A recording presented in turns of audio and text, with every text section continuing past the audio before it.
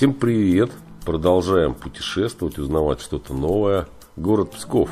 Памятник «Два капитана». Памятник «Два капитана» установленный в Пскове. Памятник героям романам Каверина «Два капитана». Ивану Татаринову и Сане Григорьеву. Скульпторы Белов и Ананев, Санкт-Петербург. Расположен в городе Псков в сквере перед Псковской областной детской библиотекой имени Каверина.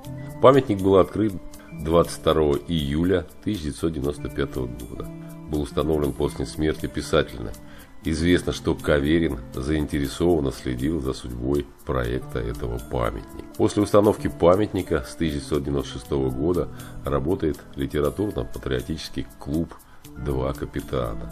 Но такие данные я нашел в Википедии по памятнику «Два капитана», который находится в городе Псков. Пока-пока, до свидания.